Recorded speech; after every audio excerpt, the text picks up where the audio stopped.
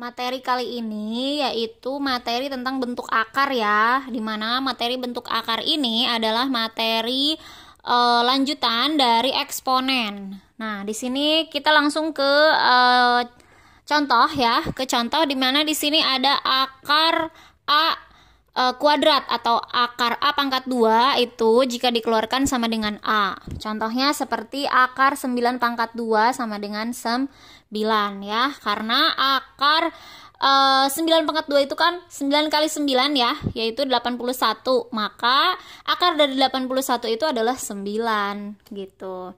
Kemudian di sini untuk sifat-sifatnya, nah ini ada sifat-sifatnya. Yang pertama di sini nih, sifat sifat operasi bentuk akar ya. Jadi ada akar A misalkan dikali akar B. Nah, di situ akan menghasilkan akar A kali B.